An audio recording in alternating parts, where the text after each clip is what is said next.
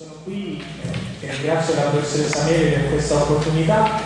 Non sono tanti anni che mi separano da voi, anche se eh, ho un po' di nostalgia nei banchi eh, dalla, dall'altra parte del percorso universitario. Voglio raccontarvi un po' eh, della mia storia, eh, io mi occupo di assicurazioni e eh, quindi vorrei raccontarvi come il nostro mondo sta cambiando e soprattutto eh, come ci prepariamo per il futuro. Ma per farlo parto dalla mia infanzia, nella mia infanzia non c'erano certamente dei droni che volavano. Probabilmente con i titoli indice, anziché scorrere un iPad, prendevo la marmellata dal barattolo che era nella credenza. E forse con i miei amici non parlavo eh, con uh, i social network, non uh, conoscevo persone dall'altra parte del mondo e non interagivo con loro tutti i giorni. Io sono nato nel 1984, quella che se googliamo è definita la generazione Y, la generazione dei millennials, una prospettiva quando eravamo piccoli di arrivare a quel famoso anno 2000 dove eh, si immaginava che volassero le astronavi, la tecnologia fosse ovunque e eh, magari avremmo avuto anche eh, un passaggio di millennio con qualche sorpresa. Qualcosa è avvenuto veramente e qualcos'altro no. Vedremo insieme.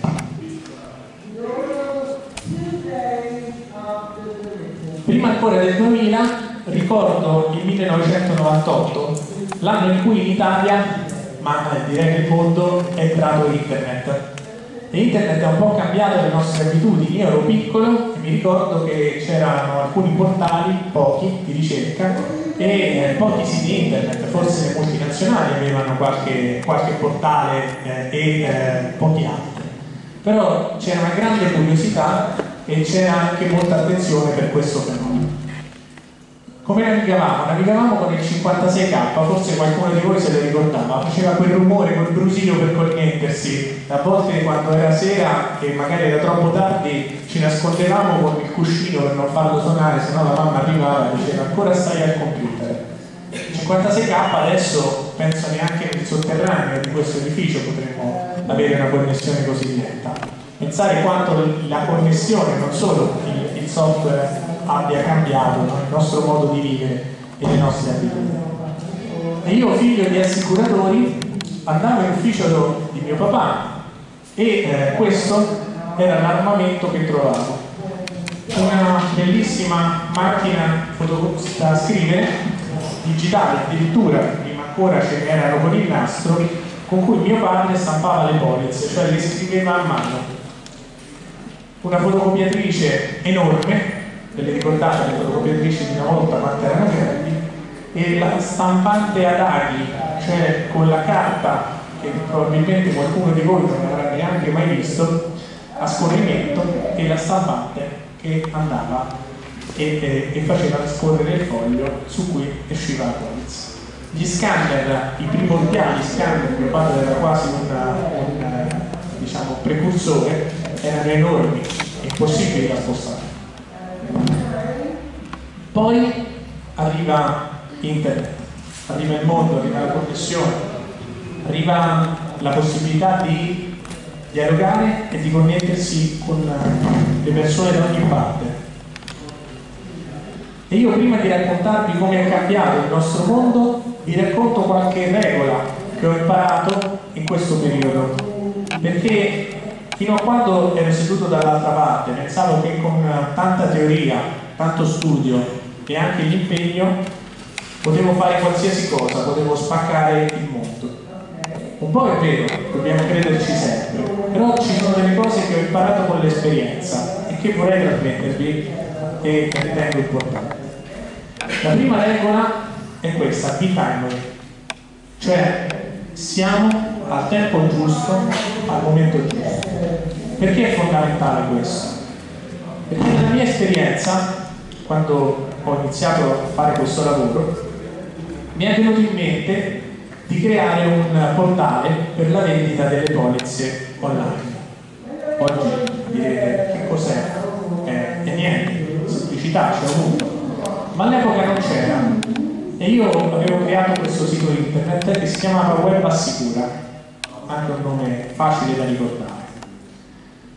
Per portarvi questa attenzione evidenzio era l'anno 2009, esce un articolo di giornale e racconta di noi, racconta di questo web assicura. Tanto per darvi un'idea, il portale che voi conoscete, probabilmente avete visto in televisione, cioè facile.it, esce nel 2011. Ecco, io ho commesso l'errore in questo caso di non arrivare al momento giusto, di arrivare un po' troppo prima. E a volte non è sempre ideale arrivare prima. Occorre scegliere il momento e calare la nostra idea al momento giusto.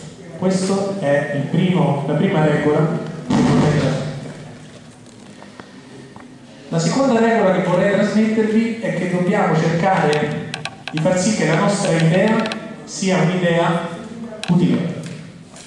Perché se non è utile non avremo dall'altra parte nessuno disposto a comprare principio molto semplice, però dobbiamo ricordarci quando pensiamo a creare qualcosa. La terza, che ritengo la più importante, è l'execution. Abbiamo idee geniali a volte, poi non abbiamo la capacità di metterle in pratica. Se ci parte un video, ve ne ho portato uno che dura un minuto e mezzo se mi va, ce lo guardiamo insieme. Come fa uno di 52 anni, attempato, che vende frullatori per milkshake, a diventare il fondatore di un impero del fast food con 1600 ristoranti e un fatturato di 700 milioni di dollari? Una sola parola. Perseveranza. Castle vendite? Ciao, Jun. Ray, va tutto bene? Certo, bene, tutti interessati. Abbiamo un ordine, sei frullatori. Chi è il cliente? McDonald. Vuole fare un giro? Volevamo fare una cosa diversa. E allora mio fratello ha avuto una delle sue idee geniali. L'ordinazione è pronta in 30 secondi, non 30 minuti. Unico, originale, non ha eguali. È rivoluzionario. Sì, esatto, è rivoluzionario. Che cosa sono? Archi dorati. Danno riconoscibilità. Ah, dovrebbero esserci McDonald's ovunque. Affiliazione commerciale. Signor Croc. Affiliazione, affiliazione, affiliazione. Il McDonald's sarà la nuova chiesa americana. E poi non è aperto solo di domenica. I am flesh and I am bone, rise up, ting ting like glitter and gold. Non possiamo essere a corto di fondi. Hai ipotecato la nostra casa. Potremmo perdere tutto. Rinegoziamo il mio accordo schifoso. Non posso. O non vuoi? Ray. Allora? No. Maledizione. Lei dovrebbe possedere il lotto di terra su cui quell'hamburger viene cotto. L'affare non è nell'hamburger, è nel ramo immobiliare. Franchise Realty Corporation. È un'azienda indipendente, quindi è fuori dalla vostra competenza. C'è un lupo nel pollaio e l'abbiamo invitato noi. Quando pensi di dire basta? Mai forse. Devi fermarti all'istante. Non prendo più ordini da te. Hai un contratto, Ray. I contratti sono fatti per essere stracciati. Gli affari sono la guerra. C'è competizione, vince il più forte. Io voglio il futuro, voglio vincere. I fratelli sono suoi soci. Non mi interessa, lei me ne libera.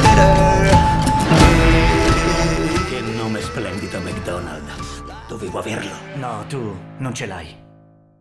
Ne sei proprio certo?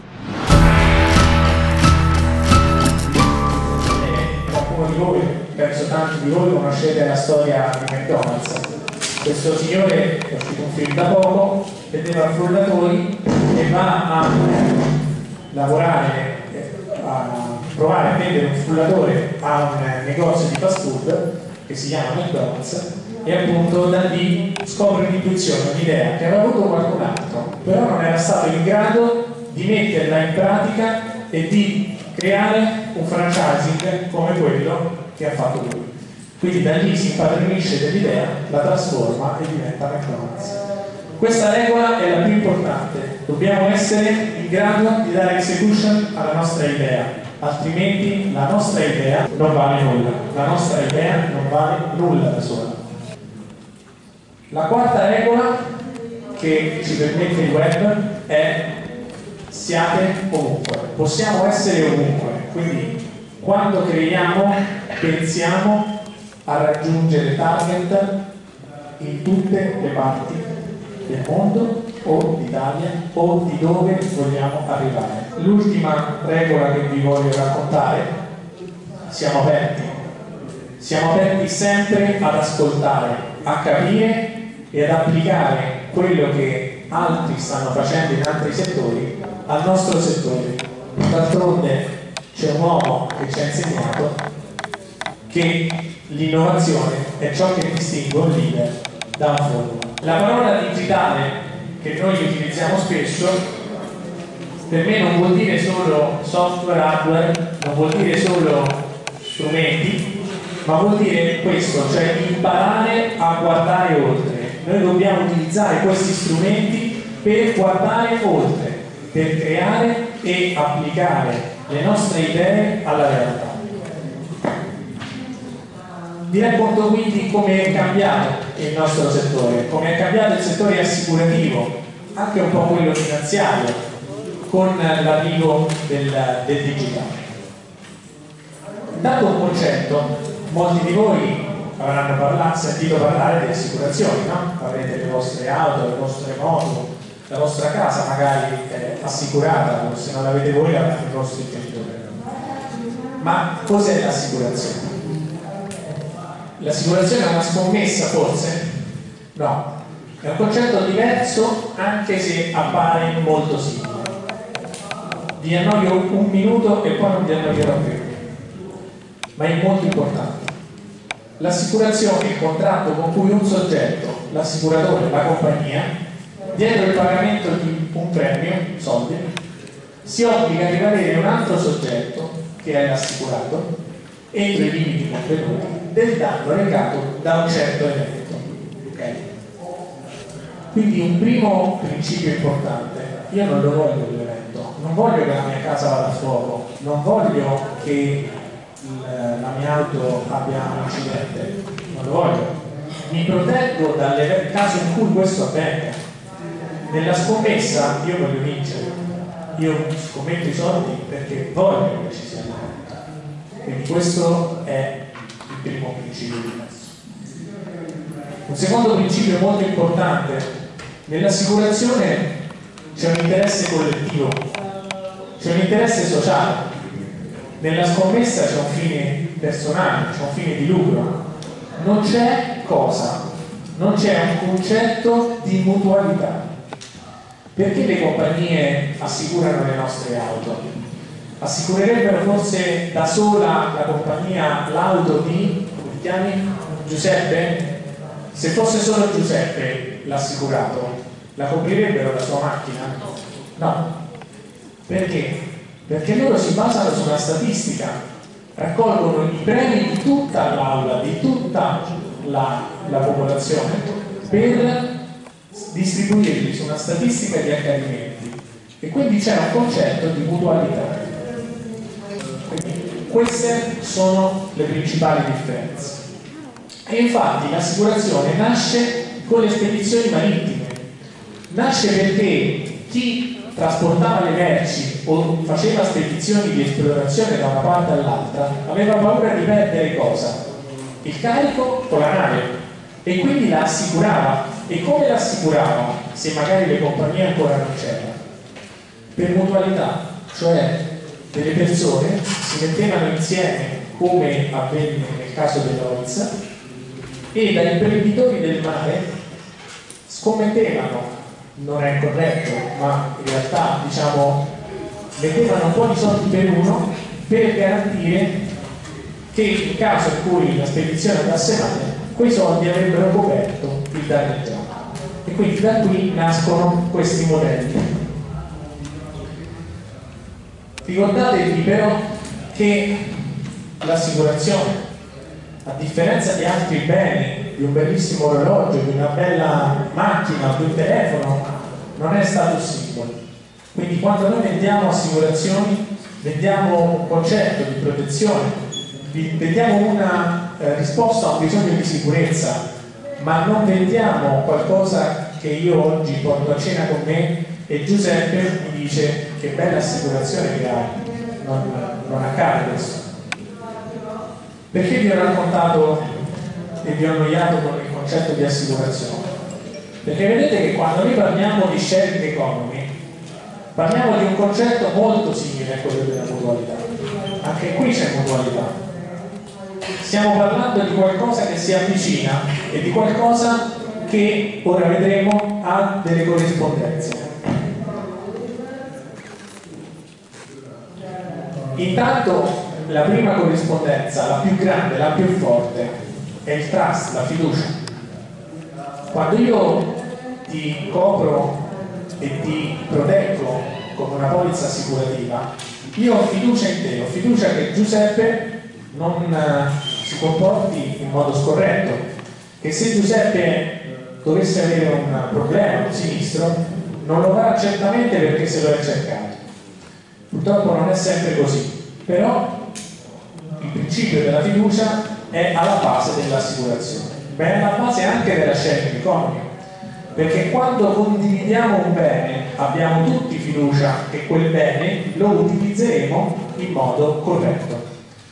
E quindi questo è il primo dei, delle, diciamo, dei principi su cui sharing economy e assicurazione hanno eh, diciamo, delle assonanze e delle sinergie.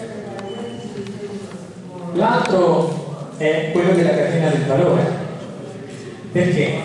Perché nell'assicurazione c'è una compagnia che assicura, ma voi andate alla compagnia a fare la polizza? No, andate all'agenzia, andate dal vostro intermediario. Quindi c'è sempre un soggetto che fa da intermediario tra il cliente e la compagnia.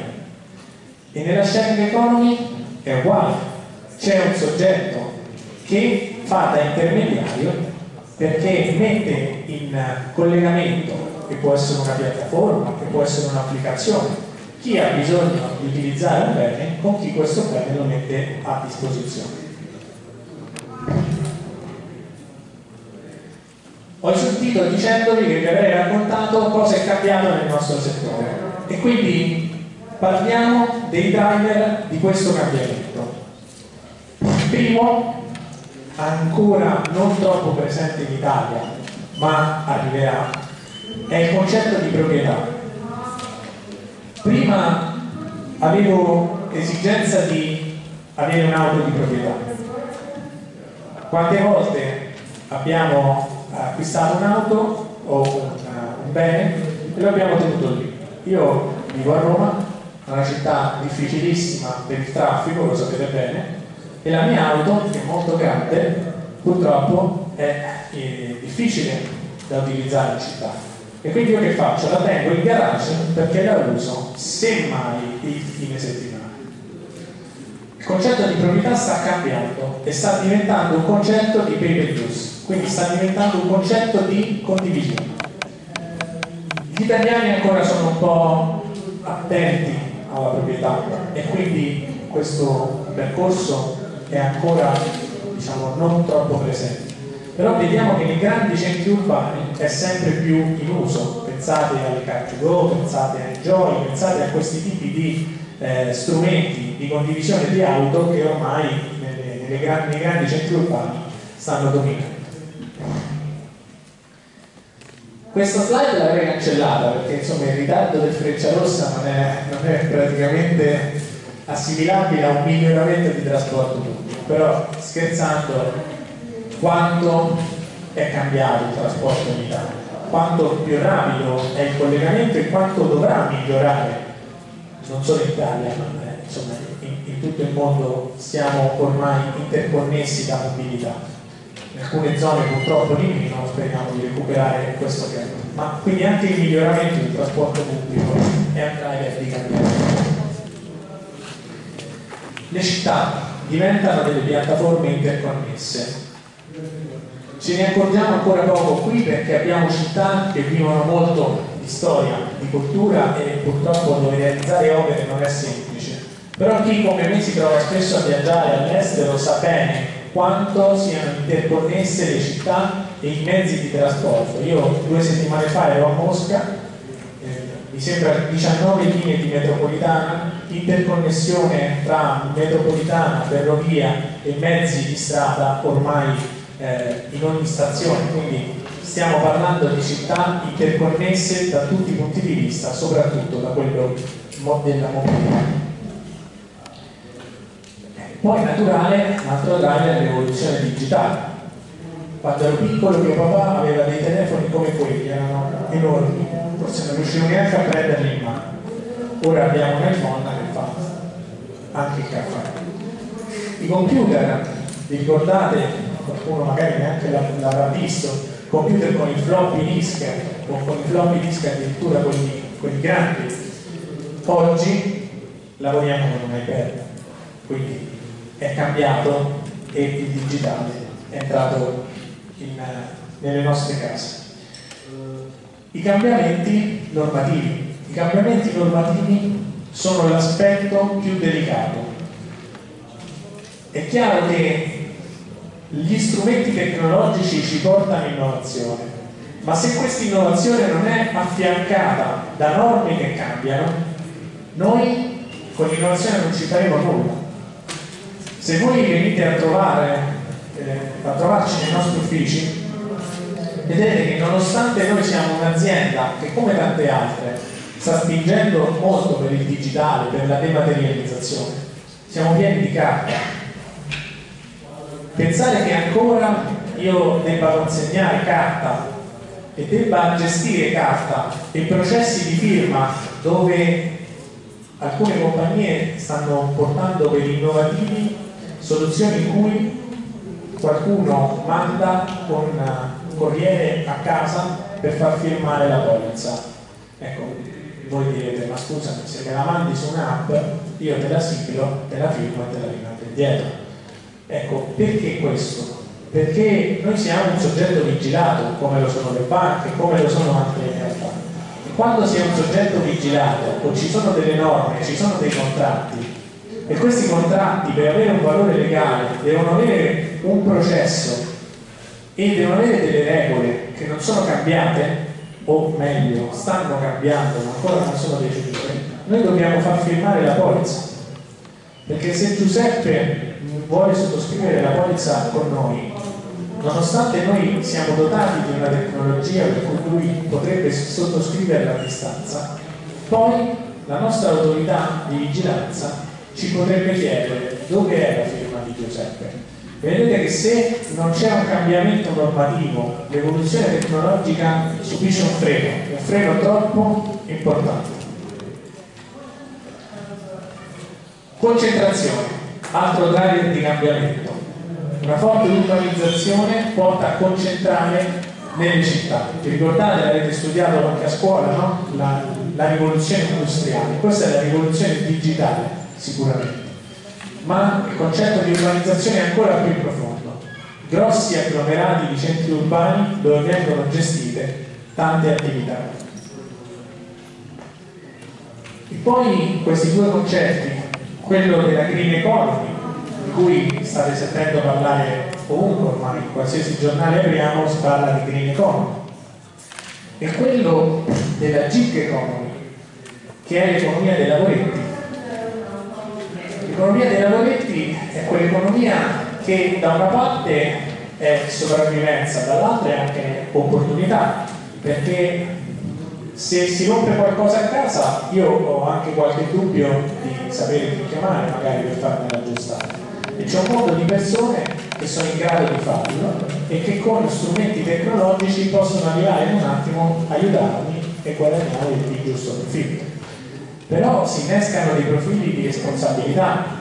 Questi profili di responsabilità cambiano le regole del nostro settore, perché un conto è assicurare una società che di mestiere fa lavori di impianti idraulici e un conto è assicurare Giuseppe che siccome è bravo e sa aggiustare il tubo, Giuseppe lo chiama e viene a casa mia a farlo. Non è un professionista della materia, non ha una partita IVA dedicata a questo, lo fa attraverso strumenti di piattaforme di interconnessione tra le persone. Il concetto di on demand è un altro concetto che ha cambiato. Io ricordo quando si parlava no? di on demand sulla, sulle prime piattaforme televisive. Ricordate che ci dicevano potrete vedere il film eh, al momento che volete e quando, e quando lo ritenete.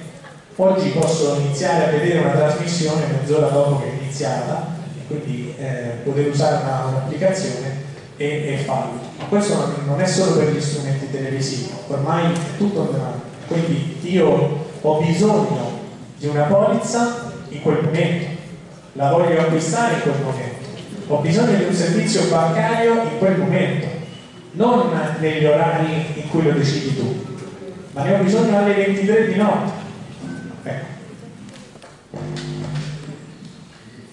Un po' di, di, tempo fa abbiamo realizzato questa intervista doppia con uno start-up diciamo, famoso di settore e abbiamo eh, creato questa doppia intervista che trovate su YouTube che si chiama Gli Insultec.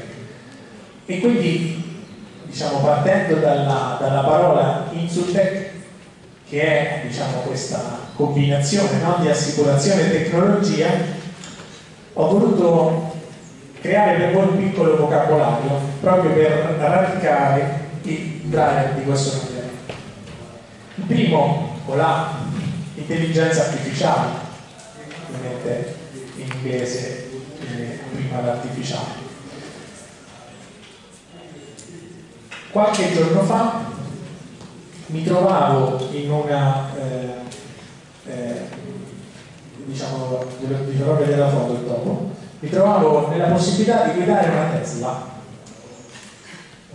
È una roba che non so se avete mai provato ma particolare. Intanto è un motore elettrico che non si sente perché già l'effetto di non avere il suono devastante per chi è abituato, per chi è nato da bambino no? ad amare il suono del motore. E poi questa macchina ha un'accelerazione che è incontrollabile, è veramente eh, una, una cosa importante.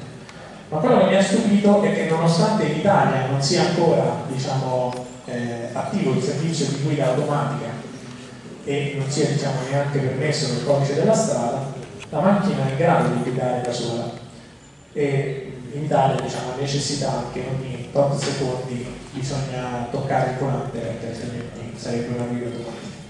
Quindi stare al volante di un'auto che gira da sola fa impressione perché non, non sai che devi fare e questo è possibile grazie all'innovazione ma è difficile da gestire un cambiamento del genere che fa il nostro lavoro. Pensate all'impatto di un'auto che va a sbattere, di chi è la responsabilità?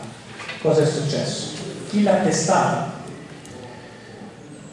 La stessa cosa potrei dirvi per quanto riguarda le chatbot. Quante volte vi è capitato ormai di trovare in un sito internet delle chatbot? No? Nel settore assicurativo pensate quanto potremmo risolvere in termini di post vendita, quindi di gestione sinistri, se abbiamo delle chatbot efficienti, se avessimo delle chatbot efficienti che sono lì a disposizione del nostro utente per dargli un servizio H24 in real time sulla sua polizza, sul suo sinistro, quindi l'intelligenza artificiale.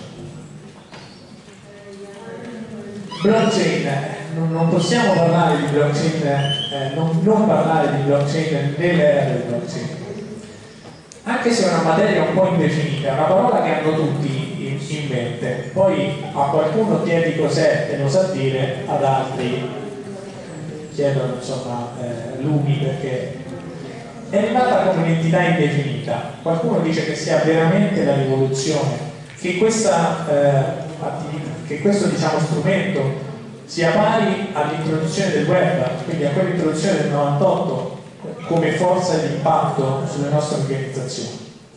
Noi abbiamo iniziato ad usarla per la validazione dei processi, quindi per poter certificare che in determinati momenti sono avvenuti delle, delle transazioni, come lo facciamo abbinando il blockchain ad uno smart contract. Quindi in sostanza lo smart contract è un contratto digitale no? tra più soggetti che aderiscono ad una piattaforma, esempio noi assicuratori Giuseppe e la compagnia aderiamo tutti ad uno smart contract, Giuseppe sottoscrive la polizza noi che la intermediamo e la compagnia che copre il rischio. Con il blockchain validiamo questo processo quindi abbinandolo allo smart contract certifichiamo che quella determinata operazione, che quella accettazione di contatto è avvenuta. Se vi dovessi dire di essere certo che questa, eh, che questa applicazione sia valida dal punto di vista normativo, vi direi di no, perché non c'è una sola regola della nostra autorità di vigilanza che si chiama IVAS, Istituto di Vigilanza sulle Assicurazioni, che dice che questo è possibile. Però anche l'IVAS parla di blockchain e quindi noi cerchiamo da precursori di fare tutto il possibile perché le cose siano fatte in regola e con chiarezza, ma dobbiamo aspettare poi la normativa che, che ci aiuta. Cos'altro ci consente di fare blockchain? Ci consente di fare le microassicurazioni. Cos'è una microassicurazione? Sono dice, polizze piccole, in, in parte è anche vero, sono polizze che io vado a sottoscrivere per coprire dei bisogni che sono temporanei, che è un po' legato anche al concetto dell'instant, che eh, dopo vedremo. Cioè, esempio, vado a sciare, sono all'ingresso delle, delle piste e mi ricordo che sciando mi potrei far male. Un mio amico l'anno scorso si è fatto male sciando. Non ho fatto la polizza. Cosa posso fare in quel momento? Posso aprire la mia applicazione e con l'applicazione posso sottoscrivere in tempo reale una micropolizza che mi copre appunto per quella giornata di sci dall'infortunio. Questo è quello che vedremo. Oggi è diciamo, un'innovazione che è più portata avanti per pubblicizzare eh, il progresso tecnologico e il progresso delle compagnie assicurative, ma domani potrebbe diventare realtà, cioè mi assicuro al momento del bisogno. Sto partendo per un viaggio, sono all'aeroporto, mi sono dimenticato che potrebbero rubare la mia casa mentre sono fuori e quindi voglio assicurare la mia casa per il periodo in cui sono fuori. Il blockchain dà certezza a questa transazione, dà certezza all'evento, dà certezza a, eh, ai protagonisti, quindi ritorna il discorso di trust, di fiducia. Peer-to-peer è un altro concetto innovativo, qualcuno lo sta provando a portare nel settore assicurativo. Peer-to-peer è condivisione del rischio che può portarmi alla fine del periodo a un vantaggio. Faccio un esempio. Anziché essere solo una persona ad assicurarsi per eh, l'evento dell'infrutturio, decidiamo di creare tutti insieme qui in quest'aula un gruppo omogeneo di acquisto. Io sono assicuratore e vi dico datemi tutti un premio, questo premio copre il vostro infortunio, se alla fine del periodo, quindi quando le polizze è scaduta, la compagnia è inattivo, cioè non ha pagato sinistri o ha pagato sinistri in misura minore rispetto al premio, ne usufruiamo tutti insieme e quindi abbiamo una sorta di, di kickback, quindi un ritorno economico a vantaggio di tutti.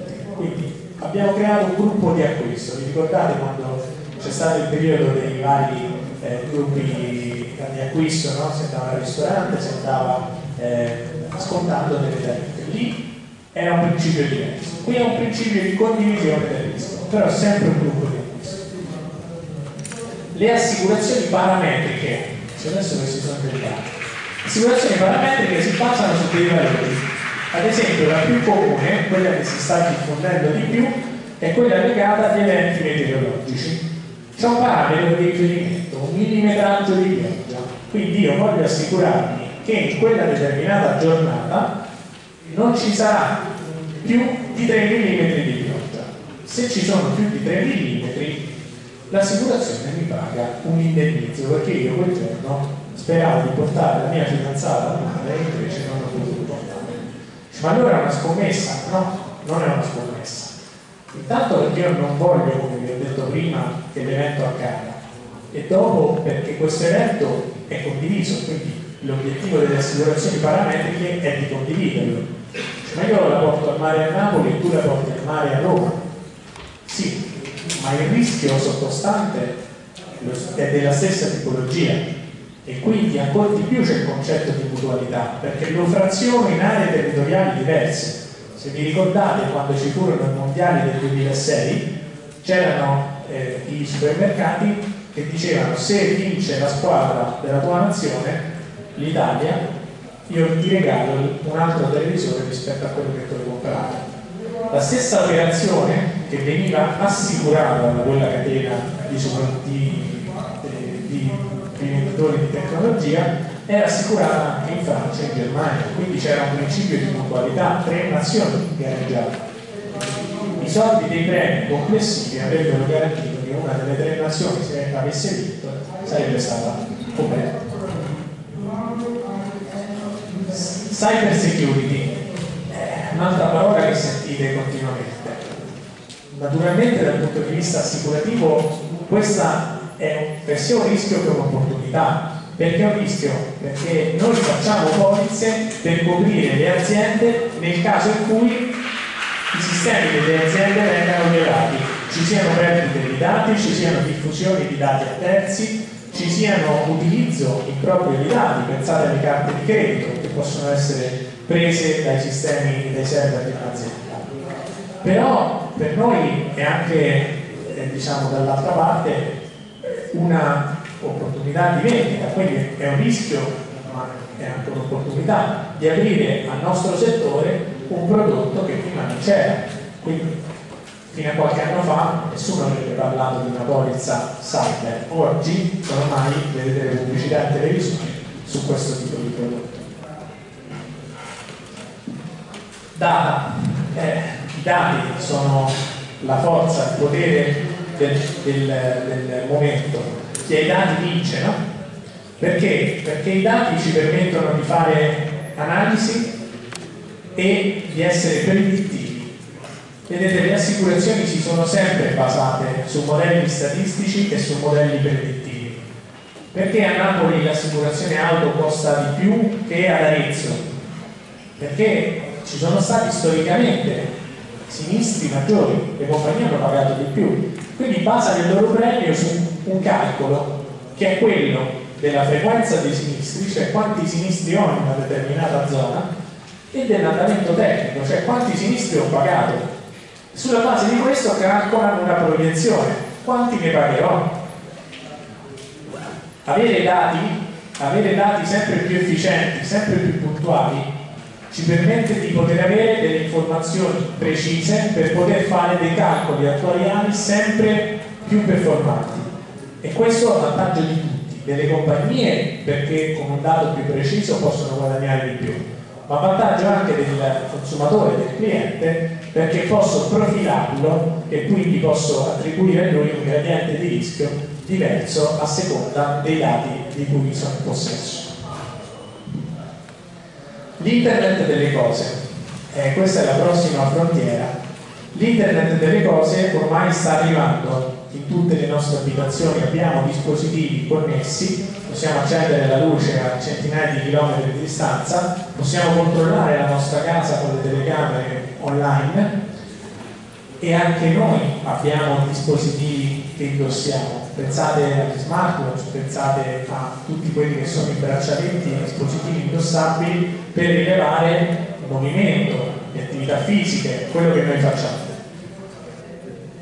Questi strumenti diventano strumenti che da una parte sono utili alla nostra vita quotidiana, alla nostra salute, alla nostra casa, dall'altra sono dati, sono informazioni che le compagnie assicurative possono utilizzare a loro vantaggio. E non è un caso che iniziamo a trovare negli scaffali prodotti venduti in co-branding tra fornitore tecnologico e compagnia assicurativa o che alcune compagnie assicurative addirittura ci regalano lo strumento perché diventano dei fornitori di servizio e dei fornitori di prodotto. E questa è eh, un'altra frontiera molto importante che affronteremo nei prossimi anni ma che darà dei risultati utili al nostro sistema. Pensate ad esempio alla necessità di assicurare una persona per il caso della vita quindi il rischio morte, che è chiamiamolo caso della vita è più bello, ma purtroppo nel nostro settore si chiama temporale caso morte. È chiaro che assicurare il rischio di morte di una persona sedentaria, che non fa attività fisica, che ha la pressione alta, che ha determinati parametri vitali non propriamente adeguati, più rischioso rispetto che assicurare uno sportivo, una persona che tutti i giorni eh, ha diciamo, attenzione al proprio corpo, alla propria salute, magari anche a quello che mangia. Quindi questi parametri influenzano il rischio e ci permettono di non calcolarlo più sulla base dell'età e del sesso, ma di calcolarlo sulla base di molti, molti altri parametri.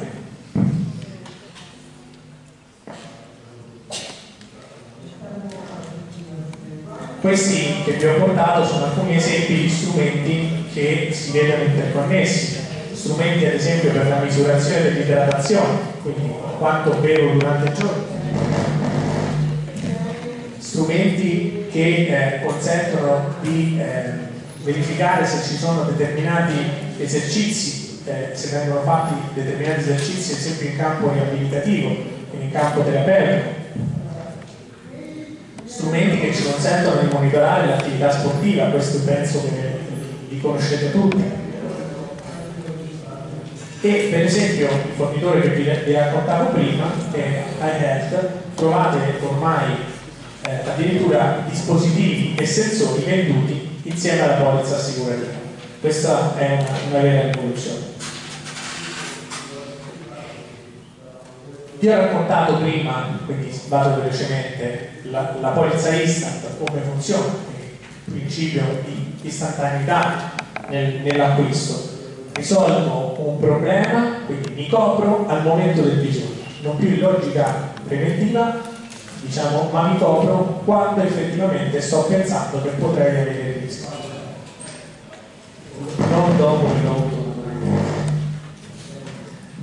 Mobile, beh, l'abbiamo detto prima, evoluzione digitale vuol dire eh, poter utilizzare anche gli strumenti eh, tecnologici per raggiungere i nostri clienti e per gestire il responsa. Questa è una macchina che vi dicevo prima, è capitato di guidare, anche un po' particolare con queste ali che si aprono, però l'auto a guida autonoma diventerà un tema ed è già un tema allo studio in quasi tutte le compagnie assicurative sul mercato. Tutto questo che abbiamo visto a cosa ci porta? Ci porta alla creazione di un nuovo mercato. Un nuovo mercato assicurativo che è completamente diverso da quello dei miei genitori. Un mercato assicurativo che è fatto di customer experience. Il cliente prima entrava, pagava la polizza, se ne andava, lo rivedevamo dopo un anno Oggi il cliente è un cliente che ha bisogno di essere sempre connesso, sempre, eh, eh, di avere sempre un'interazione con noi e di avere un'esperienza anche nell'acquisto, che non è più solo comprare un prodotto perché è obbligatorio, ma è consigliarlo, guidarlo e seguirlo anche nella, nel periodo successivo all'acquisto. Informazioni, quindi dati, lo abbiamo, lo abbiamo raccontato, più consapevolezza del rischio, perché i dati e le informazioni e la trasparenza ci portano alla consapevolezza da parte di tutti e due gli attori, di chi protegge e di chi deve essere protetto. E poi più servizi, perché le tecnologie ci permettono di darlo, lo abbiamo visto, ma anche più prevenzione, perché io posso richiedere al mio cliente di essere più attento nella sua vita e nella sua condotta e quindi si crea una nuova catena del valore, che non è più solo quella che abbiamo visto all'inizio, ma è una catena del valore fatta di compagnie assicurative che vendono un mix di prodotto, di servizio e di esperienza. E questo è quello che troveremo nei prossimi anni. Abbiamo parlato di digital transformation, di cambiamenti, di tecnologia, però quello che è importante che il nostro settore deve fare è dare un valore a questo bit, a, a questa tecnologia. Perché il cambiamento culturale è quello che è più difficile ottenere. Il cambiamento culturale deriva dalle nostre teste, dalle teste di chi fa questo lavoro e chi è abituato magari a farlo come vent'anni fa. Quindi non è facile cambiare le sue abitudini, cambiare il suo modo di poter agire. E allora come possiamo fare per aiutarlo? Possiamo farlo come stiamo facendo oggi, cioè comunicando, interagendo, scambiandoci delle informazioni e cercando di creare in lui, come nei nostri clienti, una chiave di comunicazione e eh, informazione. Vi ho portato un caso che mi è stato sottoposto recentemente per dimostrarvi come sta cambiando il nostro settore in relazione alla sharing economy, sono venuti da noi dei ragazzi che hanno creato una startup che si occupa di eh, diciamo, eh, condividere degli orologi di lusso. Quindi loro hanno pensato di acquistare degli orologi, qualcuno ne avevano, di metterli insieme e di creare un'app per far sì che se eh, uno di voi, uno di noi voglia una sera indossare un orologio che non ha, può richiederlo, pagare una, una piccola quota e quella sera avere questo, questo orologio. Però c'è un problema, è un orologio che probabilmente ha un valore e quindi questo orologio può subire un danno o addirittura può sparire. Quindi si rivolgono a noi e ci chiedono come poter coprire questo rischio. Noi stiamo cercando di approcciare eh, questo tipo di mercato ed è molto difficile perché? Perché le compagnie assicurative non conoscono questo rischio non c'è una compagnia che ha un prodotto già pronto per fare questo non c'è una compagnia che ha un dato storico perché dieci anni fa non, si facevano queste, queste polizze quindi chi ci dà le informazioni su quanti sinistri potrebbero avvenire come fa l'attuario a fare un calcolo di una tariffa? Che prezzo ti faccio pagare? Non so quanti eventi ci possono essere, non, non ho una storia.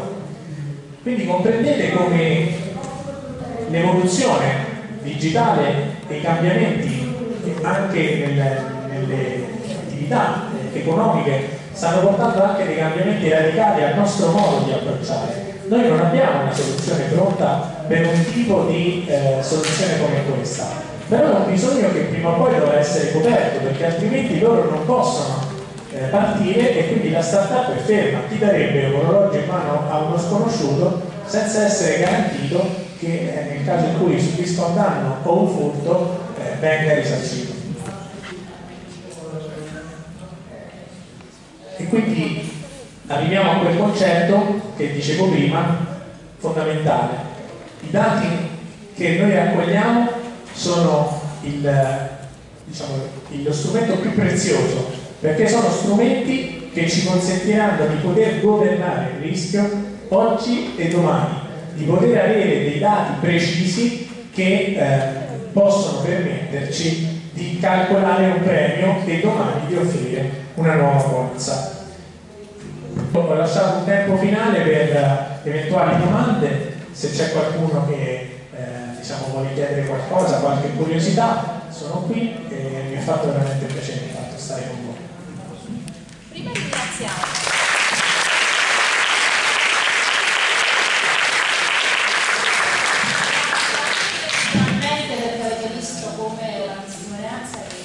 contenuti, nelle modalità si inserisce in maniera, eh, lasciate dire, perfetta rispetto a quelle che sono eh, le nostre lezioni, per cui vi dare prego l'evoluzione, eh, i fenomeni eh, che stanno emergendo qualcuno già da qualche anno. Quindi grazie ancora, soprattutto anche grazie per questa uh, opportunità che magari potremmo anche cogliere legando a qualcuno di loro che fare tesi. E questo anche quindi può affiancare il lavoro uh, per la tesi insieme anche allo Stato. Grazie davvero.